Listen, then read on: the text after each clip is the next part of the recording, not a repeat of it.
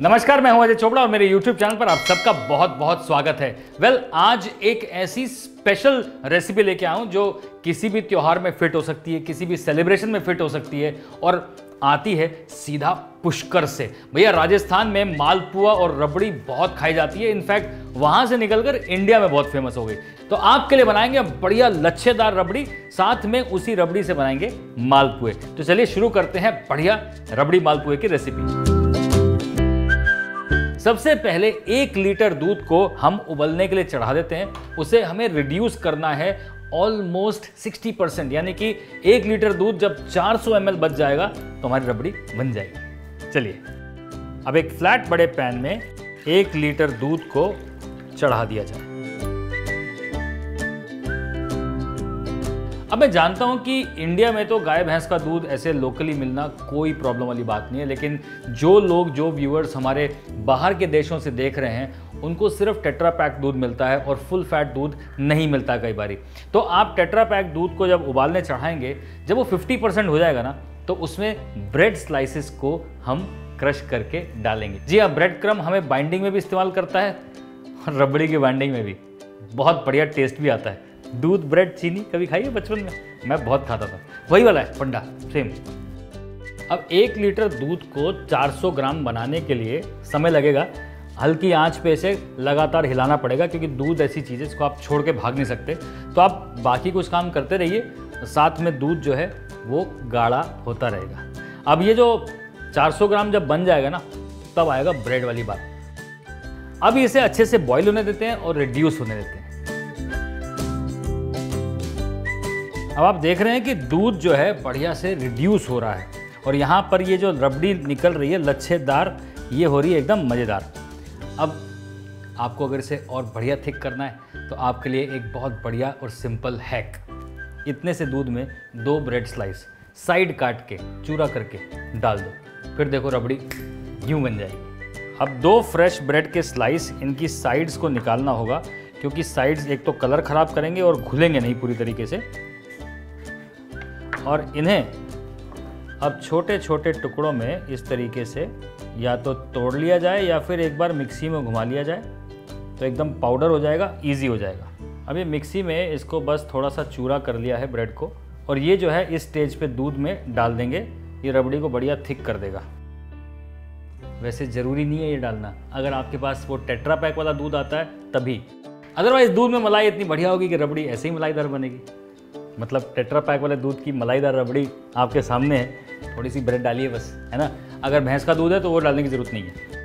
एक लीटर दूध को 400 ग्राम बनाने के बाद इसमें डाली हमने दो ब्रेड और ये रबड़ी हो गई एकदम लच्छेदार, बिल्कुल बढ़िया दानेदार रबड़ी बन गई। अब डिश का नाम है रबड़ी मालपुआ। रबड़ी साथ में तो खाई जाएगी, लेकिन मालपुआ भी रबड़ी से ही बनाया जाएगा। जी हाँ यही है पुष्कर के मालपुए की खासियत। उसमें जाती है रबड़ी, साथ में जाता है हल्की सी सूजी। और साथ में मैदा। इन तीनों चीज़ों को घोलना है, बराबर से बढ़िया फ्राई करना है। घी में करो फ्राई तो बहुत बढ़िया, नहीं तो तेल में भी करोगे तो कोई प्रॉब्लम नहीं है। अब आधी रबड़ी को निकाल के एक बोल में डाल देते हैं।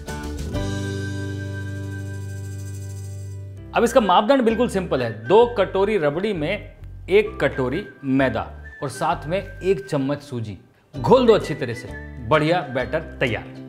दो कटोरी रबड़ी में एक कटोरी मैदा और एक चम्मच सूजी। अब इन सारी चीज़ों को अच्छे से घोलना है, जब तक ये मैदा एकदम बढ़िया से मिक्स ना हो जाए। तीन चार चम्मच दूध इसमें डालेंगे ताकि ये एक बैटर के फॉर्म में आ जाए। अब ये बैटर जो है, ये बढ़िया इस तरीके से फ्लोई होना चाहिए और इसमें खुशबू के लिए आप चाहें तो केवड़ा डाल सकते हैं। अभी जो बाकी बची हुई रबड़ी है ना, इसे लच्छेदार रबड़ी मतलब खाने वाली रबड़ी बना देते हैं, क्योंकि मालपुआ के साथ खाई जाएगी ना। तो अब ये रबड़ी में हम डालेंगे थोड़ी सी चीनी और साथ में थोड़ा सा केसर। ये भी करीबन एक कटोरी रबड़ी बची है। इसमें तीन चम्मच चीनी थोड़ा सा केसर हल्का सा केवड़े का जल और ये सारी चीज़ें डाल के अब इसे एक उबाला दे दिया जाए।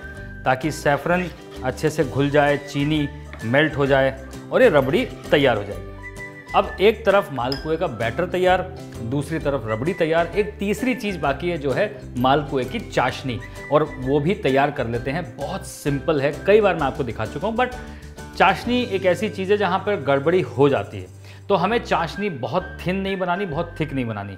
अब एक तार, दो तार में हम नहीं घुसेंगे। मैं आपको कंसिस्टेंसी चम्मच में दिखाऊँगा। तो यहाँ पर एक कटोरी चीनी है और जितनी चीनी, उससे आधा पानी डालना है। दैट्स इट अब एक कटोरी चीनी को एक पैन में डालना है और उसमें डालेंगे उसका आधा पानी। अगर गाढ़ी चाशनी बनानी है तो ये अनुमान ध्यान रखिए। साथ में डालूँगा मैं थोड़ा सा सैफरन और दो से तीन छोटी इलायची। इलायची को हल्का सा खोल लेंगे ताकि इसका जो सारा खुशबू और फ्लेवर है, वो चाशनी के अंदर आ जाए।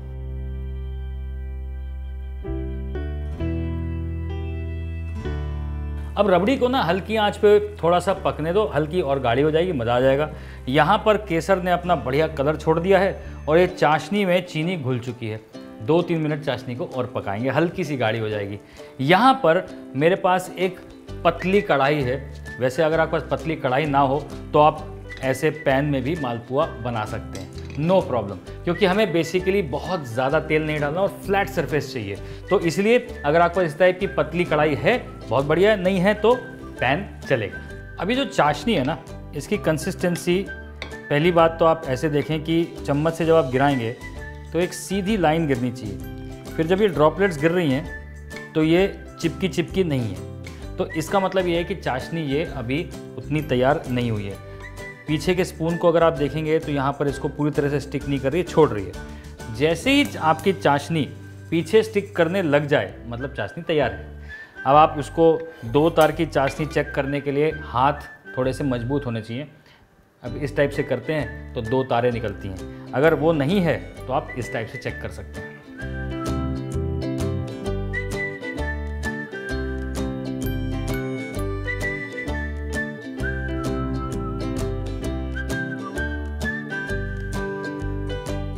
मालपुआ को हल्की आँच पे घी में फ्राई करेंगे तो बहुत अच्छे बनेंगे। अब आप देख रहे हैं कि ये जो दिख रहा है ना फ्लफ़ी फ्लफ़ी ये बता रहा है कि मालपुए जो है बाहर से क्रिस्पी और अंदर से एकदम फ्लफ़ी बनने वाले।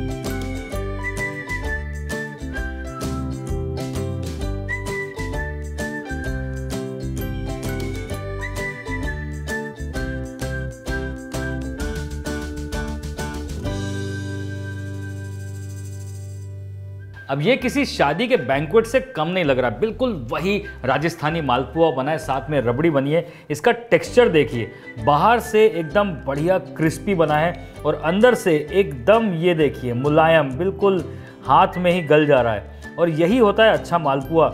इसको आप इस तरह से रबड़ी में डुबाइए और खाइए और फिर आएगा आपको मज़ा।